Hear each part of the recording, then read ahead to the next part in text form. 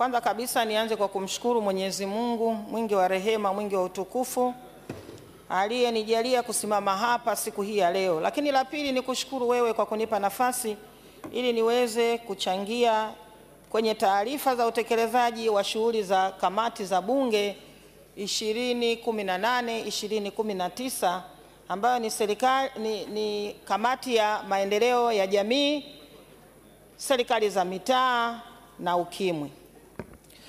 Mheshimiwa Spika, kwanza kabisa naomba niende kwenye swala linalohusu maboma. Katika maboma ambayo yamejengwa na wananchi kwenye swala la afya na elimu ikiwa ni madarasa pamoja na zahanati na vituo vya afya. Mheshimiwa Spika, maboma haya ni mengi sana katika nchi hii. Sasa inapotokea kwamba nguvu za wananchi ambazo zimetumika, wananchi ambao wamejitolea kwa dhati kabisa kujenga maboma yale, na ikaonekana kwamba nguvu za wananchi hawa zinapotea bure, wananchi hawawezi kuielewa kabisa serikali dhidi ya nguvu zao ambazo zinapotea bure. Kwa hiyo Mheshimiwa Spika, mimi naomba serikali iangalie namna ya kuweka mkakati wa makusudi kabisa kuhakikisha kwamba maboma yale yanamaliziwa na watoto wetu waweze kuanza kuyatumia madarasa, lakini pia zahanati na vituo vya afya vianze kutumika haraka iwezekanavyo. Mheshimiwa Spika, naomba niseme kwenye swala la, la, la, la, la Local Government Development Grant. Mheshimiwa Spika, huu mfuko ulikuwa unasaidia sana katika halmashauri zetu. Sasa najiuliza ni kwa nini serikali imeondoa huu mfuko, na kama kulikuwa na changamoto zozote, kwa nini serikali isimenteni huu mfuko ili mwisho wa siku uweze kuendelea kusaidia katika halmashauri zetu. Mheshimiwa Spika, kuna swala linahusu TARURA.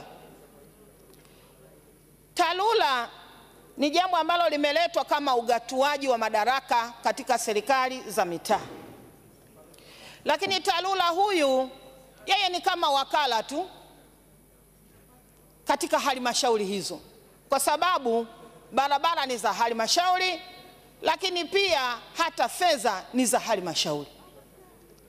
Lakini mimi nashangaa sana huyu TARURA anaposhindwa kuwa miongoni mwa wajumbe ambao wanashiriki kwenye vikao vya mabaraza ya halmashauri zetu.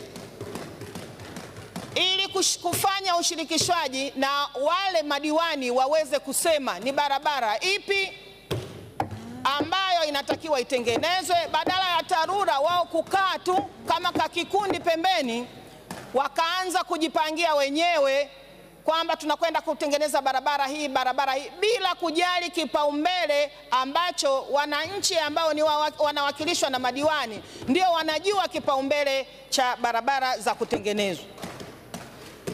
Mheshimiwa Spika, mimi nilidhani kwamba huu utaratibu ungerekebishwa kwa sababu, yani, nitolee tu mfano kwamba anakuja mtu anaingia nyumbani kwako anaanza kuchukua sufuria jikoni, anaenda chumbani kupika, anavuruga utaratibu.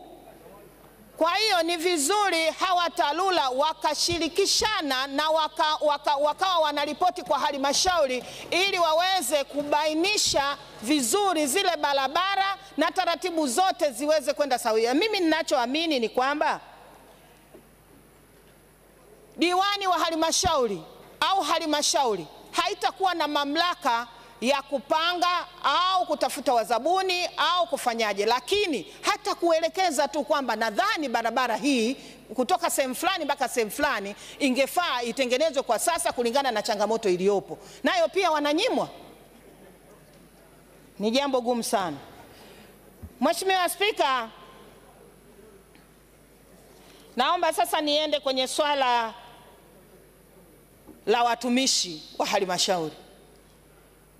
Mheshimiwa Spika, kwenye swala la afya na elimu kuna changamoto ya watumishi hasa hapa kwenye swala la afya. zahanati zetu unakwenda unakuta labda kuna, kuna, kuna madaktari daktari mmoja aidha pengine hapana daktari kabisa, ni mhudumu tu wa kawaida kama nesi anafanya kazi za udaktari, huyo huyo azalishe, huyo huyo afanye nini. Kwa hiyo kumekuwa na shida kubwa sana utendaji kwenye zahanati zetu na vituo za, vya afya hadhiridhishi. Kwa hiyo mwisho wa siku tutaendelea kuwaumiza wananchi wetu, watakuwa wapati matibabu yale yanayostahili kulingana na vile ambavyo ingefaa. Mheshimiwa mwenye, Mheshimiwa Spika, sasa naomba niende kwenye swala la ukimwi. Naomba hapa mnisikilize kwa makini sana. Mheshimiwa Spika, tisini tisini tisini Tanzania inawezekana, lakini Mheshimiwa Spika, inawezekana pale tu ambapo kutakuwa na ruhusa ya watu kujipima wenyewe. Kuna watu wengine wanaona aibu kwenda kupimwa kwenye vituo vya upimaji, hasa wanaume.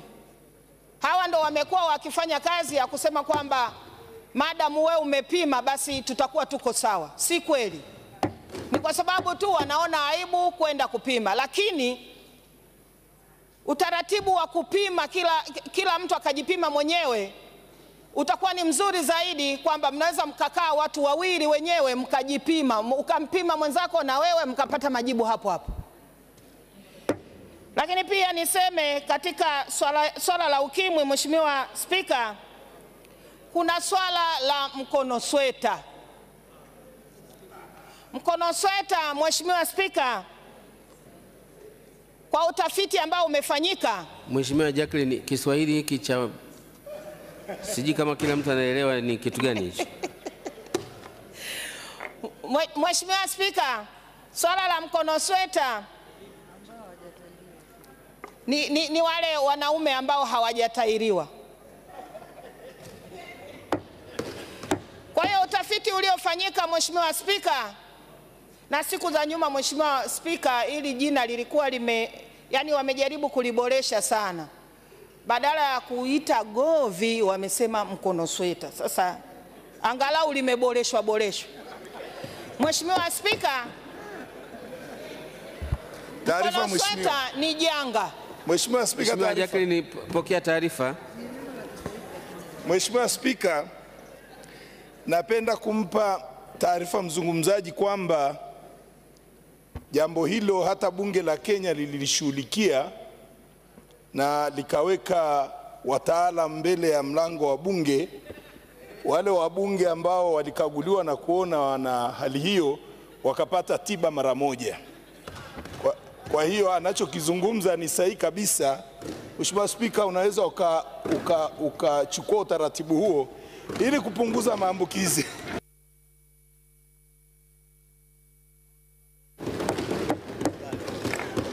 Mheshimiwa Jacqueline, taarifa hiyo unaipokea? Mheshimiwa Spika, nimeipokea kwa mikono miwili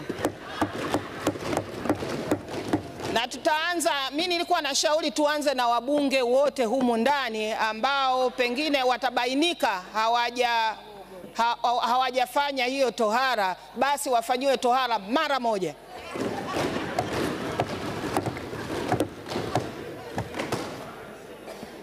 Mheshimiwa Mheshimiwa Spika, Hoja yako haikuungwa mkono bahati mbaya. Endelea Mheshimiwa. Mheshimiwa Spika, naomba nilindie dakika zangu. Mheshimiwa Spika, swala la mkono sweta ni tatizo kubwa. Ili kufikia tisini tisini tisini ni lazima tuhakikishe kwamba mikono sweta yote inaondolewa. Hapo ndipo tutakapofikia tisini tisini tisini. Mheshimiwa Spika, utafiti uliofanyika ni kwamba mkono sweta umekuwa ukiambukiza magonjwa mbalimbali ikiwepo pamoja na ugonjwa wa ukimwi. Hii inaambukiza kwa, kwa mwenye mkono sweta, lakini pia inaambukiza kwa mwanamke kwa asilimia sitini. Kwa hiyo Mheshimiwa Spika, labda niseme kwamba ni namna gani ambavyo unaambukiza ukimwi, lakini pia umekuwa ukiambukiza kansa. Kuna baadhi, endapo kama mkono sweta ule umekutwa na, na virusi aina ya human papilloma virus, ni wazi, ni rahisi kumwambukiza mwanamke virusi hivyo ambavyo mwisho wa siku mwanamke anakuwa anapata kansa ya kizazi. Kwa hiyo Mheshimiwa. Spika, mimi naomba sana Mheshimiwa, taarifa. Mheshimiwa Jacqueline, pokea taarifa. Mheshimiwa Spika, napenda kumpa taarifa kwamba ile hoja ya kuomba waume ambao hawajapata suna au tohara wafanyiwe ili kuondoa mikono sweta, wakati unatoa wengine tulikuwa kidogo hatukusikii vizuri. Kwa hiyo nilikuwa na, naomba nikupe taarifa uirudie tena ili tukuunge mkono.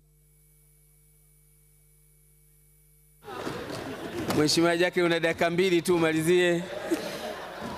Mheshimiwa Spika, kwa kweli sasa naongea kwa, masikitiko sana unapoona kwamba hawa wanaume wenye mikono sweta wanakwenda kuwaambukiza wanawake wenzetu, Arifa, ikiwepo pengine na wanawake Arifa, wengine pengine kama itatokea kama itatokea. Mheshimiwa Mheshimiwa Spika, naomba Mheshimiwa Jacqueline.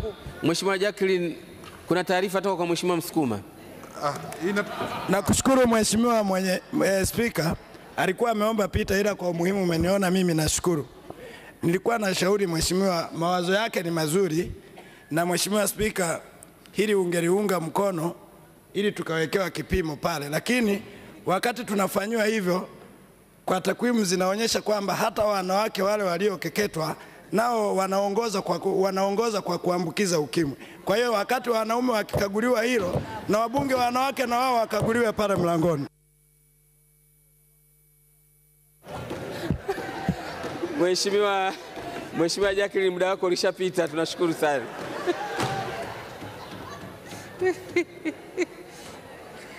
Ah, leo hii kamati ya masuala ya ukimwi inataka kutuletea, inataka kumpa hali ngumu sana spika ya kuanza kufanya ukaguzi ambao hawajawahi kutokea. Sijui tutatumia methodology gani. Ili kuwa mwanafamilia bora wa Global TV, usisahau kusubscribe, like, kushare na kucomment.